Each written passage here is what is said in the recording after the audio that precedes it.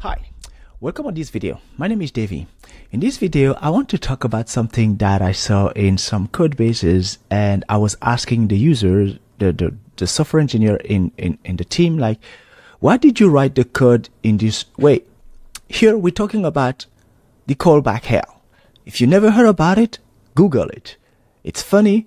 It's gonna tell you why people use things like promises, async await, and why you should actually name your functions. Okay. So this is going to be quite an interesting ride. Stay with me and let's go. So imagine that you have a function called get coefficient, right? The, the, the, the main idea there is it should just, it's going to be like an, an, an API call and that will get some, uh, an API call to get some data uh, from somewhere, right? And the, the main idea there is like when it, it comes back, you get, you're going to have, um, we're going to have here something like const value, give it a value of 12, and then we'll return 12. We'll return that value, right? So let's just make it really simple here. Stay with me. So the, the, the, the thing we're trying to do here is to say we're going to start from the idea of you make, you, you have a number like uh, value here, and you call the function get coefficient, and you know that when you, you call that function, right away, you should see uh, the value 12, right? That's literally instantaneous, right? If you were to make an, a, a, a call to an API, well, what, what do you think is going to happen to the value right there, right? So hopefully you know the, the answer. If you don't know the answer, I'm going to simulate that right away and you're going to see why uh, um, this, instead of returning 12, will return undefined. That's the answer. So let's simulate an API call. What we're going to do is to just to have a set uh, timeout here, give it a second, and then here, instead of doing it this way, we're going to say, okay, the, we start with nothing right here. And then at some point, after a second, that value is going to be 12. Got it? So what you see right here is basically you making a call to an API. And then whenever the value uh, uh, is back, you assigned uh, that value to the result of the call, right? Now, you can see indeed that on line 9, it says undefined. But what happened? What happened? Why JavaScript didn't uh, assign me this value to 12?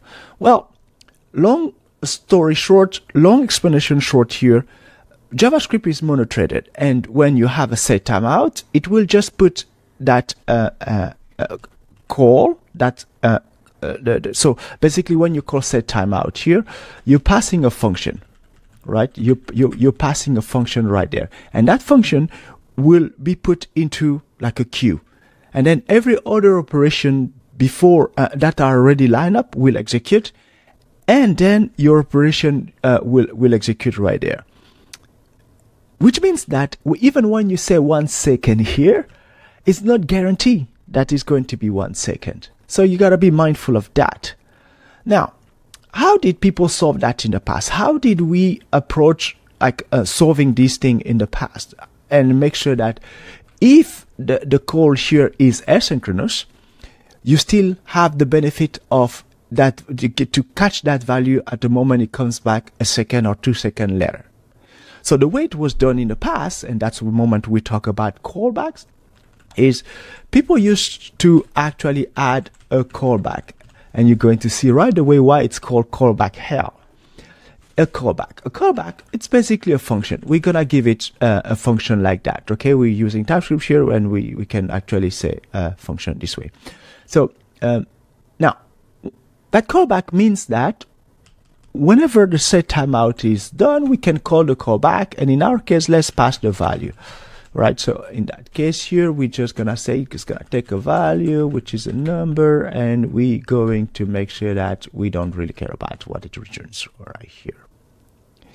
So now you can then have a function that is called back here that's going to take a value of a number and then you can do things here like console log that value right So if if we did it well, so let's go back all the way here. We call that callback right there, and we're going to pass it right here, callback. So if we did that entire uh, operation well, basically the uh, uh, the at the moment that value is being uh, released here is gonna be available right there. Okay, so I'm going to test that in the browser so that you actually see what happened. And because I'm going to use a browser, I'm going to remove the TypeScript um, uh, notation right here for now quickly. And then we should be able to run that in the browser. Yeah, the browser doesn't understand uh, TypeScript. Okay, so let's open our code here. So we can see indeed that right here, it should display 12 after uh, uh a, a second, right? So that's the callback right here. So when I execute that, we see, boom, this is 12 that is being uh, uh, executed there. And if we just go with get coefficient, the function there, you're going to see that um, it will just obviously crash here because we don't have um, we don't have a callback. But without that callback, we will have seen that it will just show it, it, it will show 12, but the 12 will have been assigned by the time the function is, is, is passed, right? So that's the, uh, the idea. But then what happens? So let me bring back TypeScript here because TypeScript is beautiful and you should try TypeScript. You should actually check the link in comment if you want to uh, master TypeScript. It's we have we have a beautiful course that we're building on the Hackages Lab. So right now from from that point on, you start thinking, okay, uh, why is it called a callback? It's called a callback because at some point within that callback, uh, okay, let me rephrase that. It's called a callback hell because at some point within that callback, that initial callback, another asynchronous operation here uh, could happen, API call which means that you get another set timeout and we going to leverage our snippet here and we say okay after one second we want to do something with that value. So let's say val is equal now uh, val time uh, 2 right? But then you want to make sure that let's say uh, let result we just start like that and we're gonna say result here right? Now we assign it and then we return a result uh, here. And you see right away that, uh, well, this is not going to work really well because once again, we have uh, that call that is being made here and the value of result will never be uh, twice the, uh, uh, the value of the, the, the val that we got right there, right? So, um, when people start doing that, they say, okay, let's just have another callback here. Call back, I'm just gonna say uh, callback function here.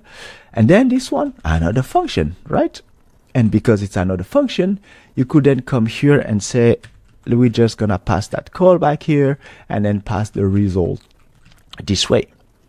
And so on and so forth. You start having code that looked basically like this, right? And that was a pattern like heavily used in the Node.js uh, ecosystem, where you have a function that takes a, a parameter here, but then it takes a function here, which is a callback. And then inside you have the for each, which takes a callback. And within that, um, uh, uh, uh, function here, you have another callback. And then and you see it just keep on going callback after callback there, there was actually let me allow me to go on uh, on on google and find um, uh, callback hell. Uh, and there were quite some uh, amazing image like this one that you could find on uh, on the internet where basically you have uh, the callback that just go all the way to the right and you have this Hadouken happening right there. Okay, I tried. I, yeah, that's how old I am because I was part of that era that played that, that video game. And uh, you can see right on the right how that that um, uh, uh, callback hell. Uh, uh, start looking like basically the way code uh, was, was looking like. So now let's go ahead and move on to one more step to how do we go from call callback hell to what's the next step? Promises. So the idea there is like let's let's first remove the the the second callback. Now we understand the, the main idea. We're just going to remove that and then uh, let's just clean up um, over there and keep it as simple as console log and we pass that value. Okay, so so the next step here is promises. So at some point to say, okay, instead of having a callback, right, we going to use uh, this idea of promises, right? So what is a promise? A promise is just like the word says, I promise I'm going to return you something. Promise. Even if there is an error, I will still return you something, but I promise that at some point I'll return you that. So that gave a different API for users. So the way you will do that is to say every single operation that had that was asynchronous, you just need to wrap it into a new promise. So let's go here and say const promise and say new promise here. And now with that, the promise takes a function and then in that function there is a resolve uh, argument here that you pass and now here we just need to add uh, that operation. We need to pass it right here. Okay. So with that, we can then say, instead of returning the value, we just return the promise. Right. Now, once we've done that, the value here, to be able to consume it, we just have to then call the resolve with that value right? That basically it. And then from that point on when you consume it you can remove the callback here because it won't be needed. When you consume it you can now leverage the then api pass your console log and then we can you can actually pass as many console log as you want. Um, and uh, if there is an error you have a catch error here could pass it that way. And then uh, there is also the finally that you could use to uh, make sure that um, you clean up anything after uh, it doesn't matter if it was a, a then or a, a, catch you you return that. And by the way i'm, I'm i want to keep that video really short here but one thing you gotta know is the the first function that I pass here is the equivalent of the success when something uh, successful happen and you can pass a second one which is the error uh, in, in, that case right? So there is a success and error but uh, it, it's actually way more visible here when for example in that function if something breaks and you don't and, and you have an error uh, on the second one it will bubble to this part of, of, the thing. And if there is no error here to clean uh, um, what happened here it will just go right there. I'm gonna make another video, a short video where I explain that showing you visually what happened, but that's not the video for today. Okay, so you gotta you gotta subscribe or just be part of the the Hackages community and whenever that video is, is available, you just get it. So that's it. Now from here, you can now see that well, if you want to access that coefficient, you um, indeed have to use that uh, uh, then, then, or, or catch or whatever. Okay. So we're one step closer to a async await. Because at some point people start thinking, well, if I want that coefficient, they start dealing with the then, then that, that syntax looked quite odd for a lot of people. My background is in functional programming. When I see this, it speaks volume to me, right? I, I, can I can live with this flow of data because I'm I know that I'm I'm I just I, am dealing with the pipe of data coming from the top from the top uh, top down, and I can uh, manage uh, each then is basically a transformation operation that I can use in the flow of data. Okay, but in the JavaScript world, that's a foreign language that I was speaking right there. So, for example, if if you had uh, this entire uh, operation here, uh, let's say function calculate, and you you knew that you had um, let's say uh, cal calculate total just to give it a, a, better name here you can then say okay we're gonna have uh, a function that will get the coefficient and based on that coefficient right const coefficient I'm just gonna call it this way. Based on that you want to say for example uh, 1200 time the coefficient right? So but right away you could see that this is not gonna work. Right it's not working because that coefficient is a promise. Promise that something's gonna come your way but nothing comes right so what uh, uh, you you end up doing is to say okay in the then you will go ahead there and say you, you uh, whenever you receive something uh, from it right so whatever whatever data you're gonna you're going to receive from it you can then move that operation of uh, calculating the coefficient uh, right there, right inside there. So let me just move it right here, remove that, and then basically say um, 1200 time the coefficient, and then you can return that. But then uh, the, the, the main the main idea there is yeah of, of course that's not gonna work this way. You have a different API and then you return something like that which means that whoever who wants to use the calculate method like you're gonna see that calculate method start to deal with also a then a catch and finally and so on and so forth. And that's the moment that's the moment async await comes in and says okay you know what? Um, we will allow you to write this thing in line and resolve things literally uh, where um, uh, where they're supposed to be. So here I made a, a quick uh, mistake here, but it's supposed to be uh, data here, and we can uh, simply say uh, that thing's gonna be a number and so on and so forth. But that's not the point right here. It was indeed the, the data that we should use here, and that data will indeed come from from this uh, uh, uh, operation there. Okay, so now where is async await uh, uh, uh, comes in here? Async await says, well, keep your code in a like top bottom. Like when you read it, you just really go from top bottom. The then and order, um, the, the the then and finally and catch will give you still a, a, kind of top bottom approach, but it's mostly left to right, right? The, the, the, flow of the data. So what async await does, it says, okay, let's go back here, give you a bit of space here.